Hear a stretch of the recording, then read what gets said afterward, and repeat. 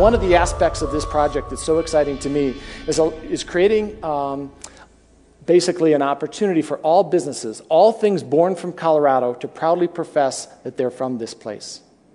And that hopefully that will engender buy local, right? There are a lot of companies trying to convey that they're from Colorado. Colorado Proud, which is from our Department of Agriculture, has asked us to help redefine the program because the people in Nebraska are not Colorado Proud and they don't want to buy products that say Colorado Proud on them right? So we want a program that works for them. But this can work for you too. This can work for all companies, consultancies, and that sort of thing. We have a lot of different descriptors. We have Colorado, you know, designed. We have grown. These are different graphic icons that we're considering right now. None of these are final. Uh, we'll be making final choices in the next couple of days. But there's Colorado made, Colorado grown, Colorado raised, Colorado built um, Colorado Company, if you don't fall into one of those categories, a, a, variety of options. So hopefully you'll be interested in putting some of these. So when you grab a Horizon Organic Milk off the shelf, you'll say, wow, that's, uh, you know, eh, that's a Colorado company. You didn't realize that. People tell me all the time they don't realize uh, Noodles Company or Chipotle are Colorado companies. It's because they're not telling anybody. So this will give people an opportunity to tell them.